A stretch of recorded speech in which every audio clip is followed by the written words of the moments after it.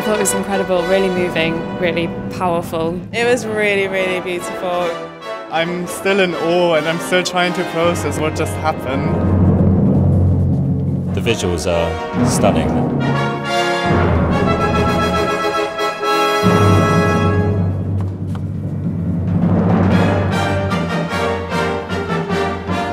It was fantastic. I did quite a lot of crying. It was beautiful. Definitely go and see it. It's visually stunning. Come along with open eyes and an open heart and see how it moves you. It's incredible.